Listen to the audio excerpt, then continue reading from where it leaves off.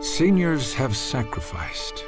We survived the Great Depression. And landed at Normandy on D-Day. But now, some in Washington want up to $500 billion in Medicare cuts to pay for a plan that could lead to a government takeover of healthcare. Treatments and potentially life saving drugs could be withheld, and seniors could even lose their own doctors. Don't make us pay for health care reform by cutting Medicare. We've sacrificed enough.